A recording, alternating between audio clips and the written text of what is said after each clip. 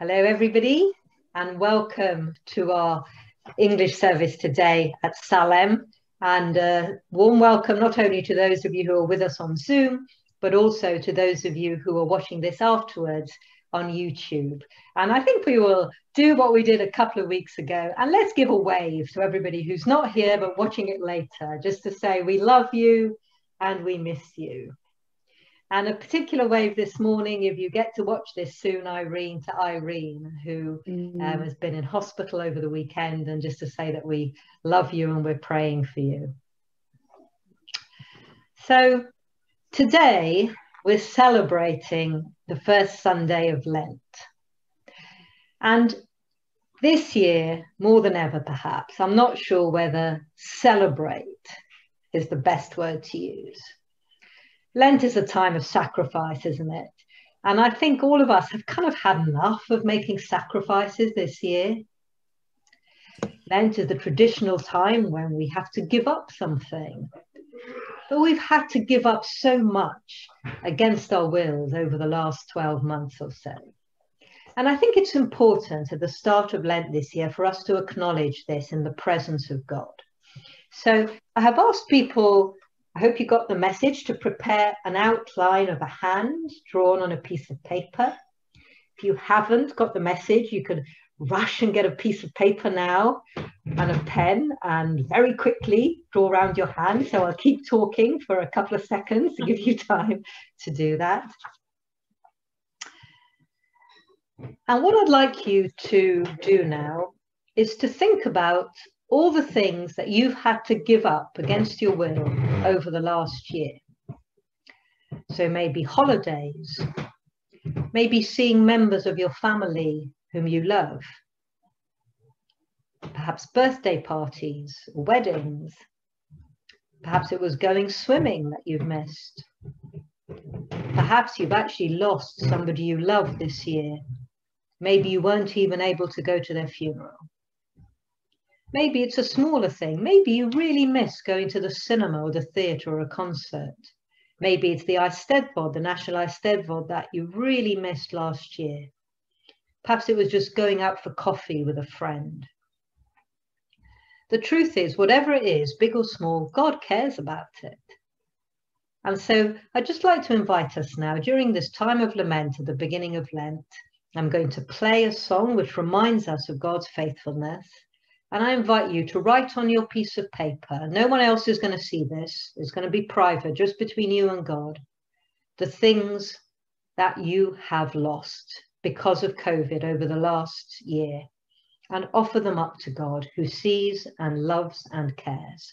And during that time, I'm going to play a hymn, and uh, feel free, please, to sing along.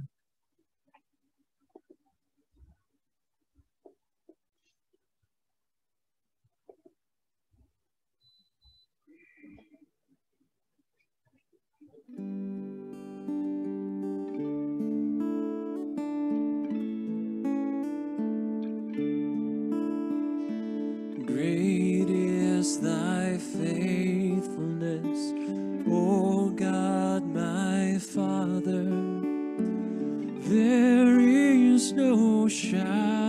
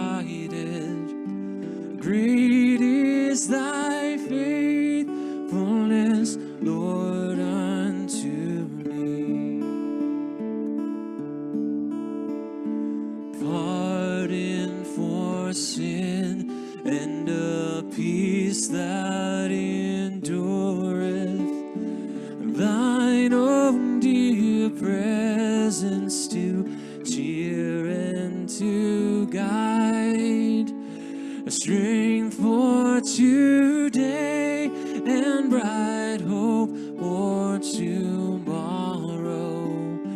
Blessings all mine with ten thousand beside.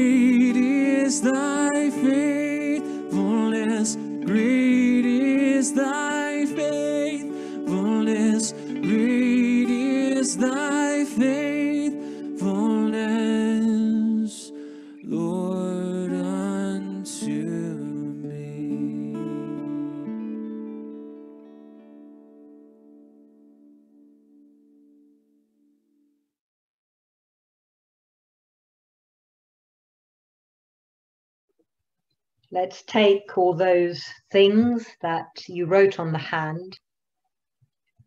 Let's just place them before God. He is the God of great faithfulness who walks with us through the good times and the bad. And let us pray. Loving, faithful God, your love is absolute your promises irrevocable. Your love and your faithfulness never come to an end. We look up after a shower of rain and we marvel at the colourful beauty of your rainbow, a reminder of your promise and your faithfulness to all generations wherever we happen to be today, whether we're on top of a mountain, at the bottom of a valley, or in the wilderness of the desert, your Holy Spirit is with us. We adore you, loving, faithful God. Amen. Our Bible reading today is actually extremely short. And so, what we're going to do is, I'm going to invite you to use your imagination and start off by looking at this picture. now, this is a picture of the Jordan River where people today go to be baptized. And I'd just like to imagine you in that picture. Who are you? Are you one of those people in the river who's already been baptized? Can you feel your wet clothes clinging to you as the sunshine is blazing down ahead? Are you perhaps one of those people in the queue waiting to get into that water? Or you may be one of the people holding the camera on the side.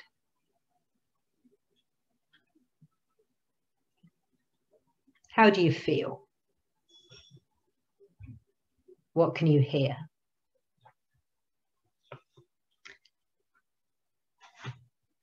And as you do that, I invite you, if you wish, to close your eyes and to listen to the first bit of our reading today.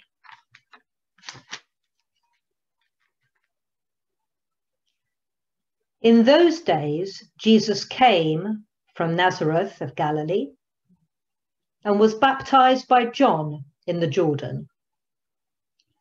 And just as he was coming up out of the water, he saw the heavens torn apart and the Spirit descending like a dove on him. And a voice came from heaven You are my Son, the beloved. With you I am well pleased. invite you now, if you will, to open your eyes and have a look at the screen. And once again, I invite you to imagine yourself in that picture. It's very, very hot. There's no shade in sight. Perhaps your eyes hurt from the glare. The sand is burning through your feet. You can feel it coming through. How do you feel? Is that a snake under Jesus' head? Are there wild animals there? Are you afraid? Or are you just interested? Are you thirsty? Hungry? I invite you now to close your eyes if you haven't done so already, and I'll read you the second part of our reading. Immediately after Jesus' baptism, the Spirit drove him out into the wilderness he was in the wilderness for 40 days, tempted by Satan. And he was with the wild beasts, and the angels waited on him.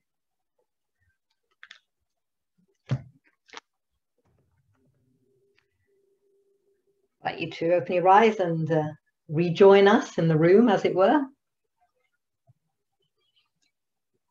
And if anything struck you as you were imagining yourself in those scenes, feel free to put it in the chat or on the Salem Facebook page or the WhatsApp group you're part of, whatever later. Don't don't let that go if God spoke to you at that moment.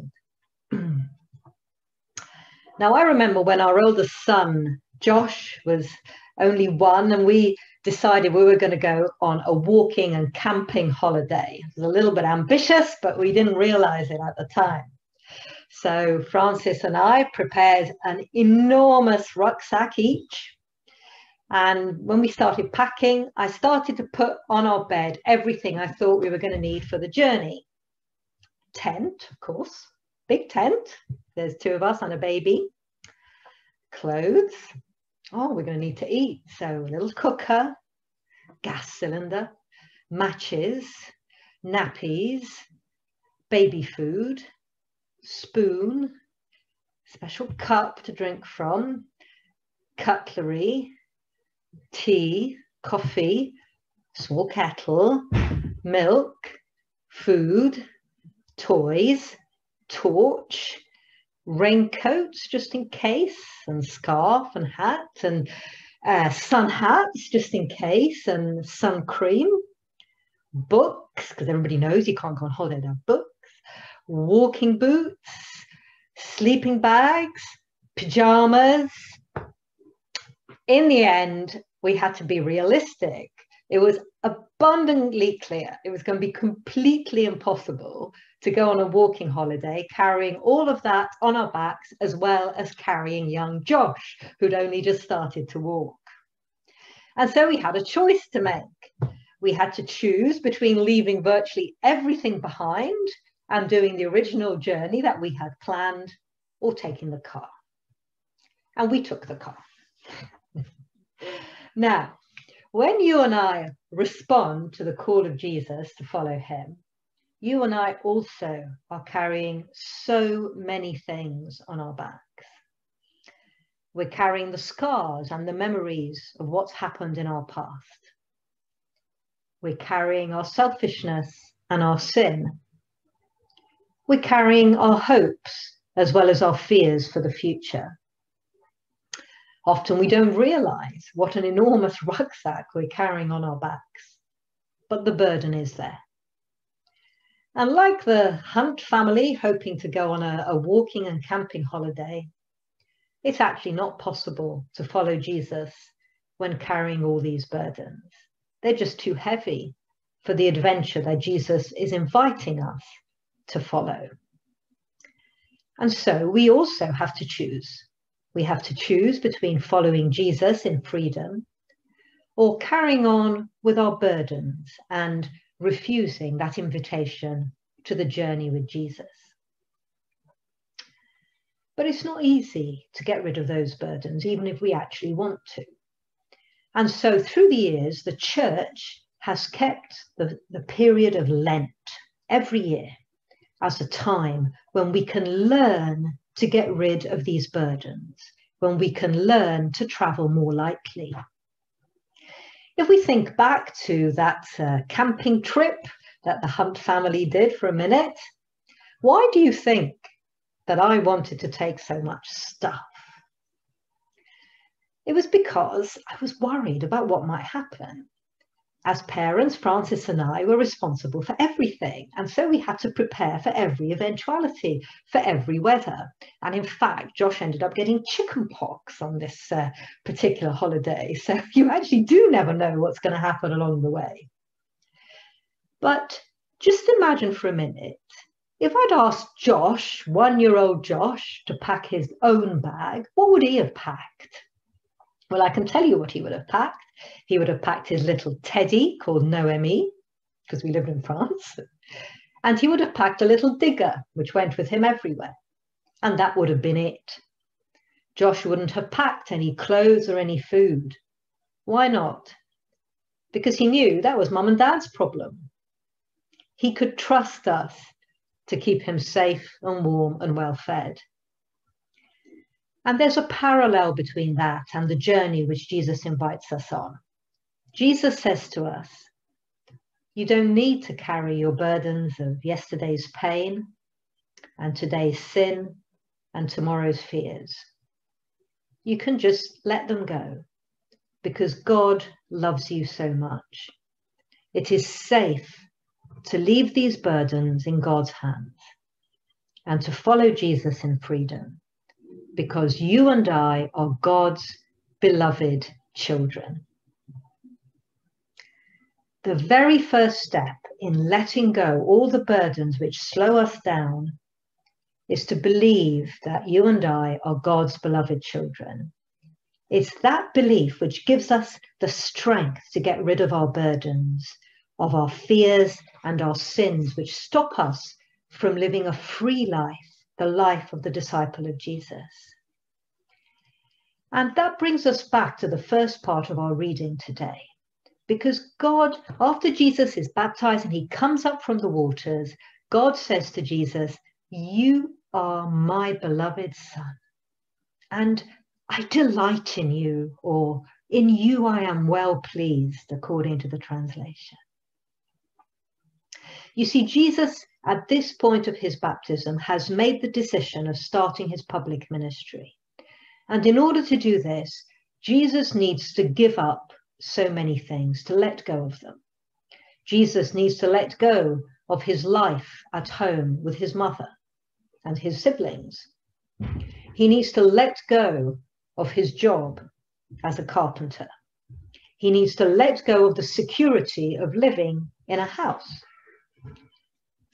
Perhaps Jesus also needs to let go of those everyday hopes that a 30 year old man might have of being married, of having children, of growing old, of seeing his grandchildren.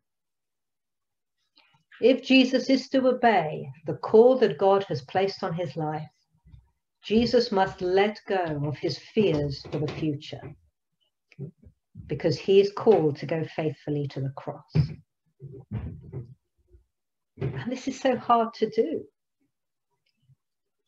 And so God says to Jesus the words that Jesus needs to hear if Jesus is to be able to lay down these burdens and depend completely on his Father. God says to him, You are my beloved Son, and I delight in you. It's this knowledge that is the source of Jesus' strength. It's this knowledge that is the source of Jesus' ability to get rid of everything that stops him from following Jesus. This knowledge that he is God's beloved Son.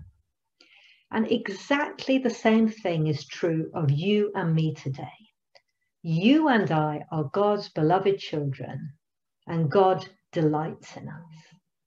And it's this knowledge that gives us the power to get rid of the things that are stopping us from following Jesus. The author of the letter to the Hebrews in chapter 12 says this Let us throw off everything that hinders and the sin that so easily entangles us. And let us run with perseverance the race marked out for us, fixing our eyes on Jesus, the pioneer and perfecter of our faith. During Jesus' baptism, Jesus, God says those all important words to Jesus You are my son, the beloved. And it's worthwhile us looking a little bit closer at the source of these words because you are my son. This is actually a quotation from Psalm 2. And in Psalm 2, God appoints his king to govern over the whole world. But the other nations of the world do not accept the authority of God's king. This is what the psalm says. The kings of the earth rise up, and the rulers band together against the Lord and against his anointed, saying, Let us break their chains and throw off their shackles. But the one enthroned in heaven laughs. The Lord scoffs at them. He says, I have installed my king on Zion, my holy mountain. I will proclaim the Lord's decree. He said to me, You are my son. Today I have become your father. Ask me, and I will make the nations your inheritance. So, this is the context of God's words to Jesus at his baptism You are my son. God is recognizing Jesus, he's acknowledging him publicly as the Messiah, the king that was to come. But what sort of king? And in order to understand that, we have to look at the second half of what God says to Jesus at his baptism. You are my son, and with you I am well pleased. I delight in you. Because this bit, I delight in you, is actually a reference to Isaiah 42, the song of the suffering servant. And in this chapter from Isaiah, God describes his beloved servant by saying this Here is my servant whom I uphold, my chosen one in whom I delight. I will put my spirit on him, and he will bring justice to the nations. He will not shout or cry out or raise his voice in the streets. A bruised reed he will not break, and a smouldering wick he will not snuff out. In faithfulness, he will bring forth justice. In other words, God appoints Jesus as his king, but not as the king who destroys, but the king who brings justice not as the king who depends on his own power and his own army and his own strength.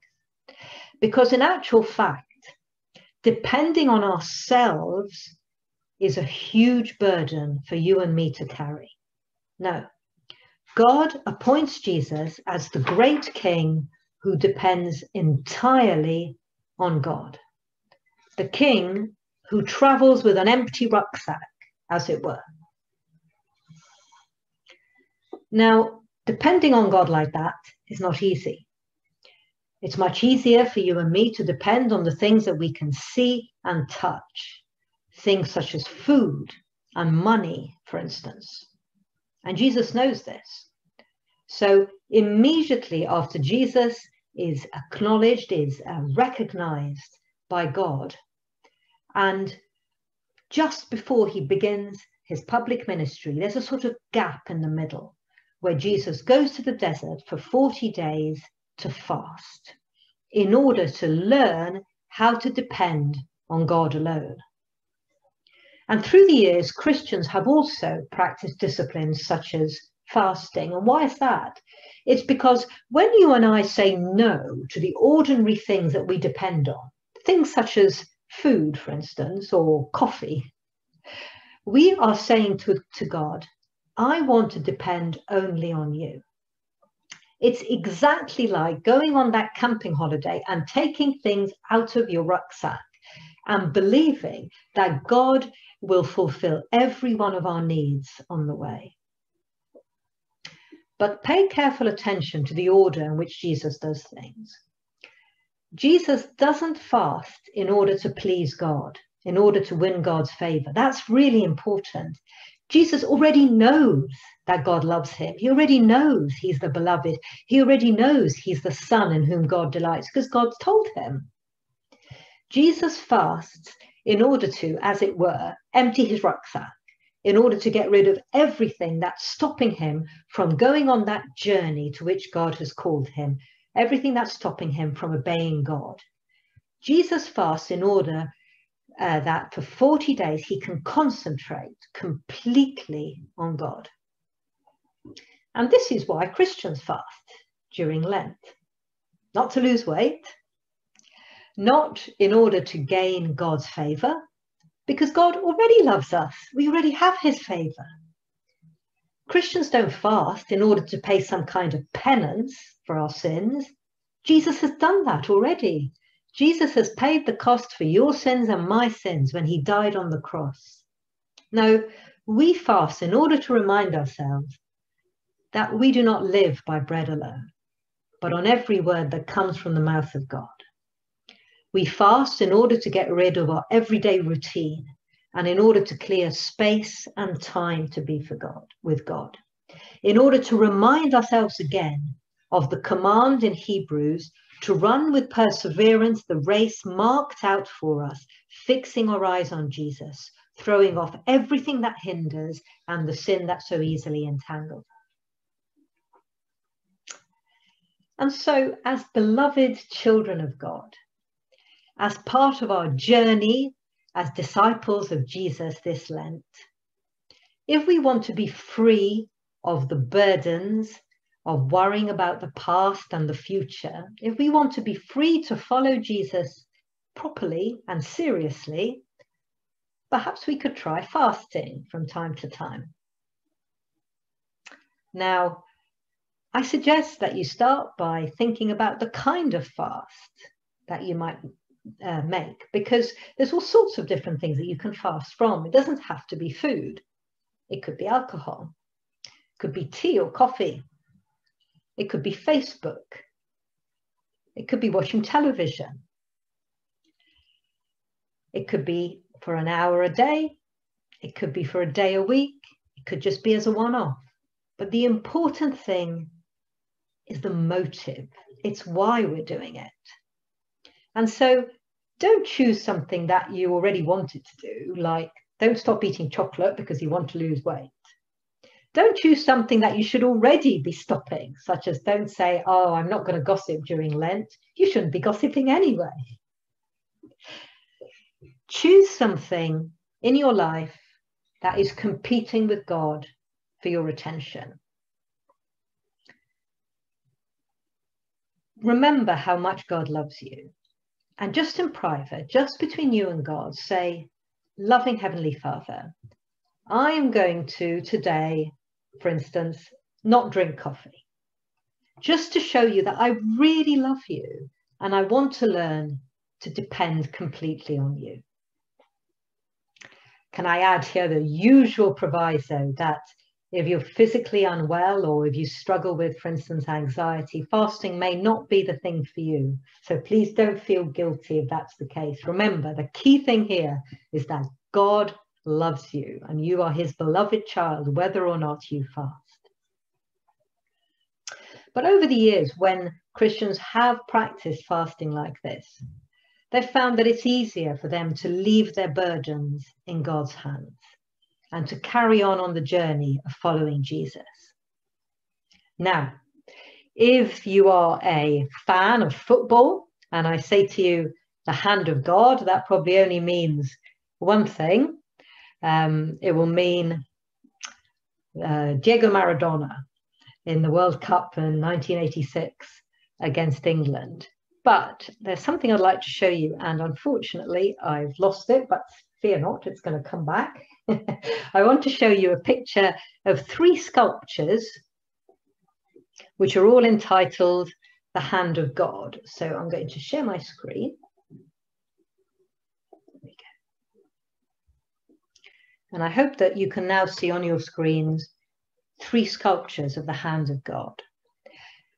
And whether or not you intend to fast, and some of you will and some of you won't, and that's absolutely fine. There is a, an exercise I'd like to encourage us all to do right now. Have a look at these three sculptures. They're three different ways in which three different artists have interpreted the hand of God. And maybe there's one of them there that speaks to you and that you can identify with. And I'd just like us to take a moment in the quiet for you to put those burdens that you're carrying into God's hand. Just a chance for you, as it were, to empty that rucksack in the presence of God. So let's do, do that now, just in a moment of silence.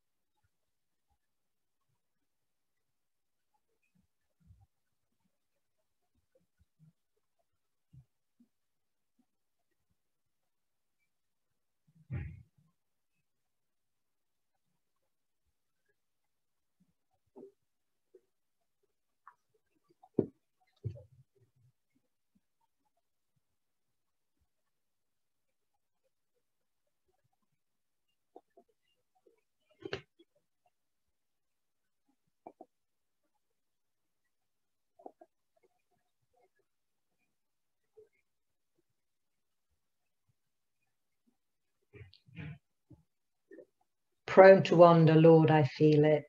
Prone to leave thy courts above. Take my heart, Lord, take and seal it. Let's uh, sing together. Come, thou fount of every blessing.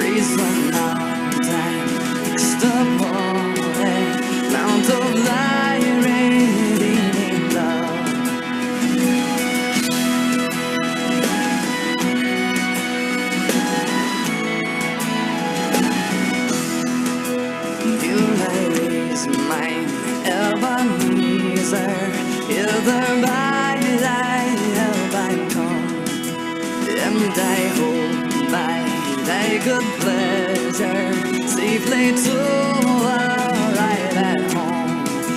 Jesus saw me when a stranger, wandering from the fold of God, he to rescue me from danger, interposed his precious blood.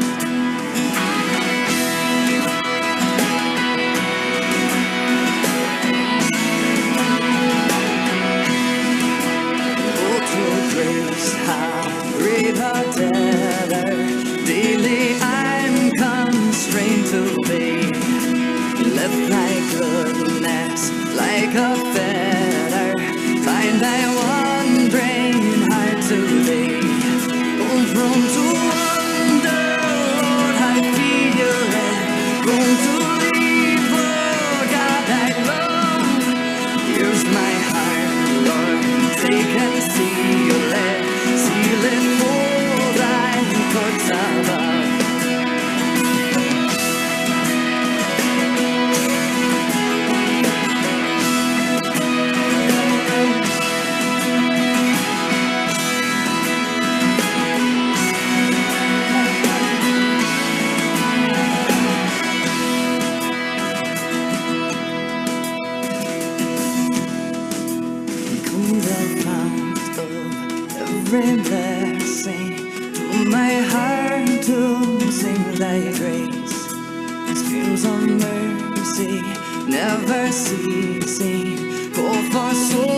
of loudest praise. Teach me some melodious by flaming tongues above. Here's my heart, Lord, take and it, seal it for thy courts above. Oh, here's my heart, Lord, take and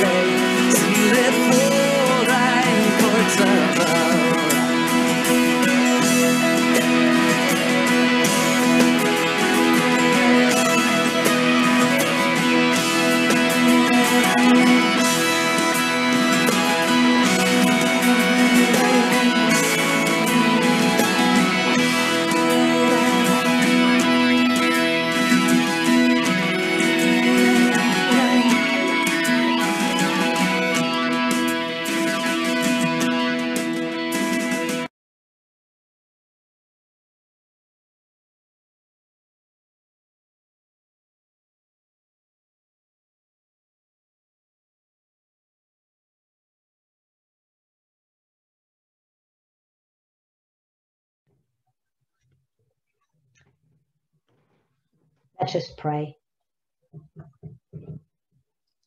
Beloved Lord Jesus, you stepped from water to wilderness, from God's voice to the taunting voice of the enemy. In the wilderness of today's world, we face many enemies, many temptations. Forgive us for succumbing to selfishness, greed, lust, anger, and power. Lord, sometimes difficult times follow fast on the heels of one another, and it's hard to keep our focus on you. Forgive us and help us to remember your promises and to recognize you in those you bring alongside us. Lord, forgive us when our minds fail to focus on you and your word. Help us to remember that no matter what we're going through, you've been there before us.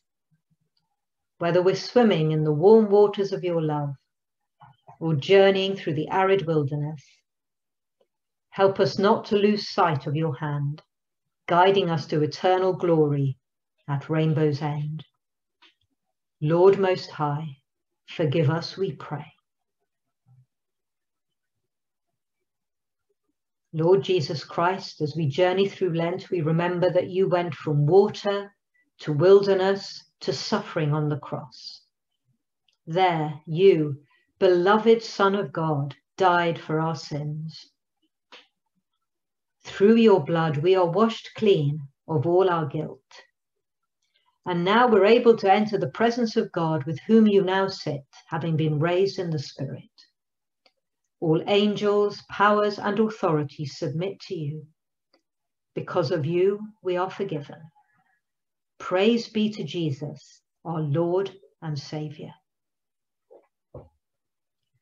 We thank you, faithful Lord, for your patience, provision, and power, for your tenderness, trust, and triumph, for your security and strength, for your compassion and wisdom. We thank you, Lord, that through your grace and mercy, the blessings of faith, and your covenant love, you equip, teach, and guide us as we traverse today's world, ever mindful of your steadfast love.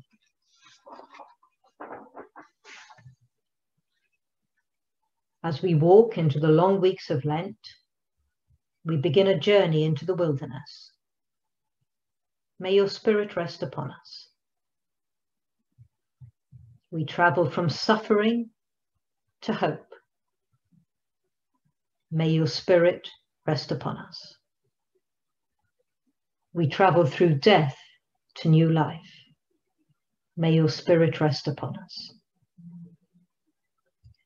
As we look to the example of Jesus, who in the wilderness chose the difficult path, help us to know that you are with us, though the way ahead may be hard and so often we falter and fail. Strengthen us for the journey ahead and teach us to trust in you. We walk in relative security, thankful for the comforts we know.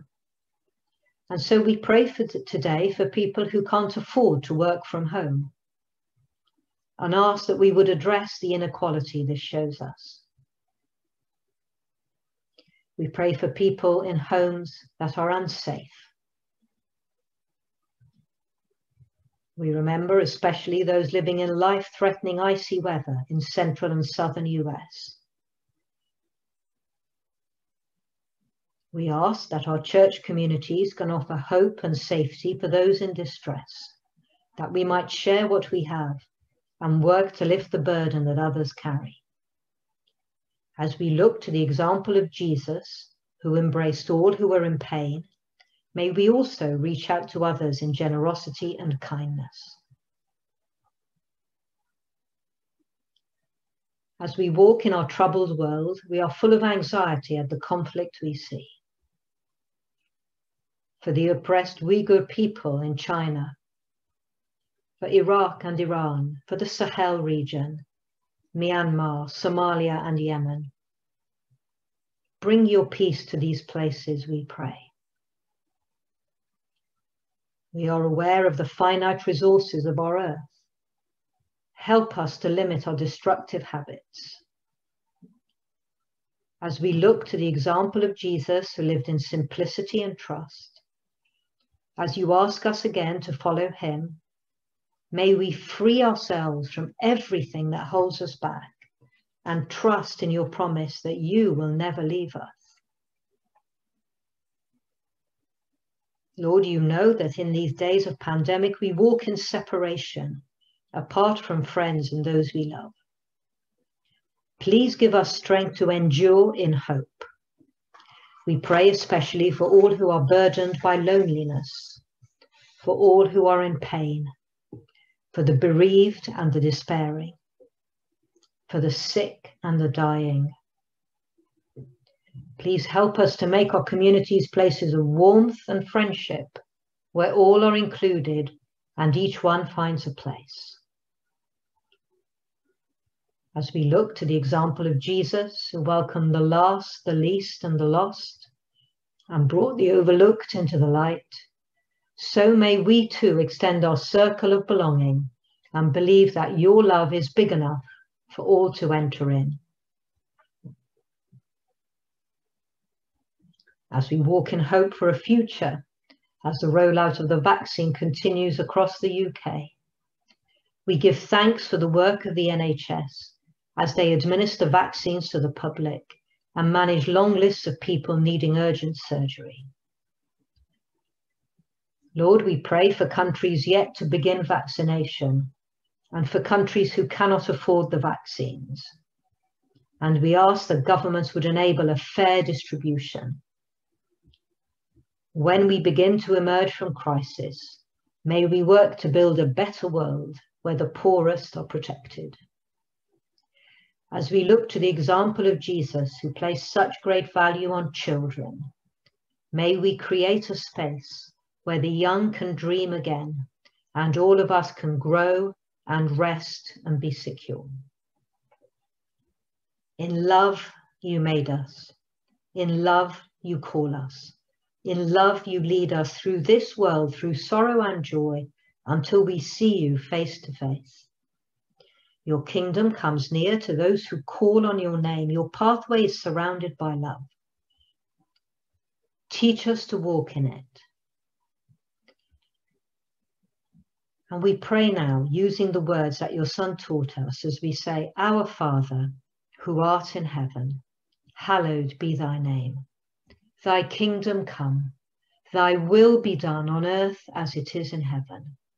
Give us this day our daily bread and forgive us our trespasses as we forgive those who trespass against us. And lead us not into temptation, but deliver us from evil. For thine is the kingdom the power and the glory forever and ever. Amen. Just before I hand over to Paula, we are going to sing our final hymn.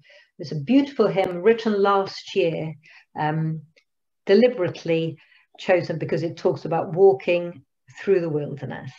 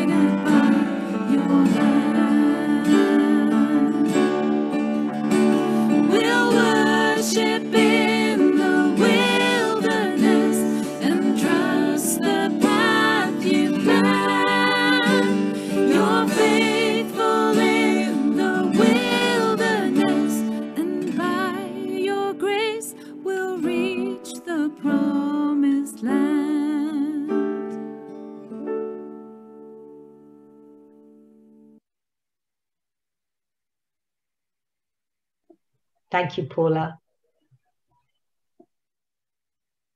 Uh, thank you for your message this morning, Rosa, uh, where we're invited to let go in order to follow God, and we can do, do so because we are loved. And thanks to everybody who's joined us for this service of worship this morning. Uh, well, for coming up this week, as usual, we'll have LG tomorrow at 5.30, prayer breakfast on Friday morning at 8 a.m., and guitar practice with Maestro Andrew Johnson at 9.30 on Saturday. And next Sunday at 10.30, we will have Martin Gillard. He will be leading the service. Um, we think it's by Zoom, but I'll find out as soon as I possibly can. And uh, we'll put a message in Helen Eads newsletter and uh, also on Facebook too, okay? So we'll make sure we get a message to you somehow. So that's Martin Gillard at 10.30 next week. Now, a very important announcement. Our own very lovely Andrew Parker is appearing on Radio Wales's celebration programme this evening at 7.28 precisely. That's what I've been given, the information I've been given anyway. And he's talking about his favourite hymn. Now, some of us caught it uh, over Christmas time when he did the last celebration programme. It was very interesting indeed.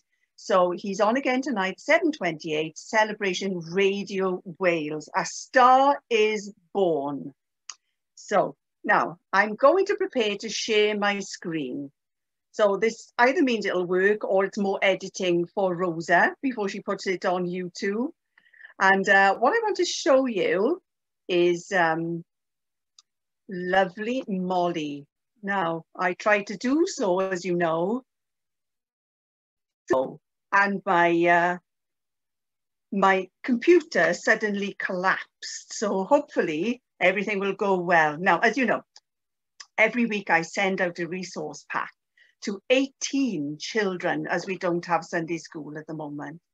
And there are loads of things you can do from the resource pack. And, uh, you know, most of it the children can do on its own, but it's a lovely way of getting the family involved actually so lovely Molly, this pack has gone all the way to Nottingham. Um, lovely Molly, Molly, a couple of weeks ago, did a few things on the wedding of Cana. So here she is. She's doing the taste test. So there she is. I think it's got a bit of orange juice there and a bit of raspberry, I think. And then there's Molly completing one of the worksheets. All right. So well done, Molly. Um, and then this week, uh, Ollie and his sister Lucy did a couple of things on the woman at the well, the woman of Samaria. So uh, first of all, they did some, um, oh, right, some water. Oh, there we go. So they filled some glasses with water and had to make a tune out of it. There we go. Ollie, of course, you know, had a little bit of a moan about his sister's tempo and tone, but there we go. And then we remembered the woman filling the jars of water. So there was a bit of a competition going on here between brother and sister, trying to fill each other's glasses or their own glasses. Right, so we're two thirds of the way through this challenge. No, actually, we're just coming up to the end of the challenge. Now they've done remarkably well. Ollie is sucking up the last of the water. And he's finished. Lewis, how about you? Well done. Right, so we're two.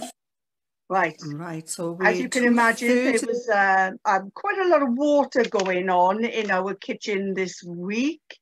And then lastly, as, as I've said, um, they've got chance to do um, lots of different activities on the sheets as well. It also gave us a lot of uh, chance to have a chat and to look at Bible readings. Of course, we had a look at the book on John 4, 4 and uh, we, we read through the women of Samaria and it's got a nice simple explanation on the sheets as well for the youngsters. And it gave us an opportunity to talk about Jesus, talking to the lady at the well and why that was so strange because she was a Samaritan and a woman and that wasn't a done thing. And we talked about Jesus talking to other people about, um, about you know, well, people were from the margins of society and having a little chat about that. And also, but Jesus is the well of life. He is the water of eternal life. So um, that's a couple of ideas of what we do from the resource pack. Thank you, Rosa. Thank you, Paula. That's great. Thank you so much for all the hard work that goes into sending that out every week. It's really, really appreciated, I'm sure, by the families. And it's a great way for us to keep in touch with the children we miss so much during this period. So thank you, Paula, and everybody else who's involved. Thank you to also to Alan and Anne, who've been keeping in touch with the BB children as well. I know that's been very much appreciated. I've got some messages. Great. Well, thank you again for being here this morning, everybody. What I'm going to do now is, as usual, uh, put you into breakout rooms for 10 minutes. Um, it's completely optional. You don't have to stay. At the end of that time, um, if you're still around, then we'll come back together and say a final blessing.